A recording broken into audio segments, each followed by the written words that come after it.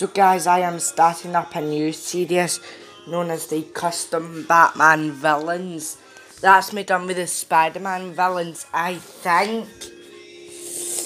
So today for the Custom Batman Villains we have the Joker, Harley Quinn, Batman, and the Riddler. Now let me get into the Riddler. Now this I tried to make based off the Batman Forever version, but I just decided to scribble everything in with a, with a magenta sharpie. And also let me get his like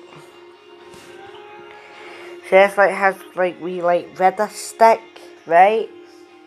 So that's him done for right. And then the next one we have is Batman. So I just extended his legs just by putting two wee studs.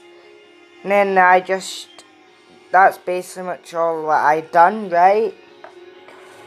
Next up is the Joker. So the Joker, most of this I was already going to make a Spider-Man villain, but then I forgot his name, so that's why I didn't make him.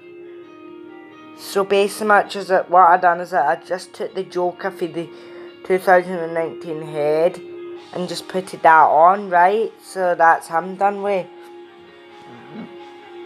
Pardon me, sorry if I recorded that there.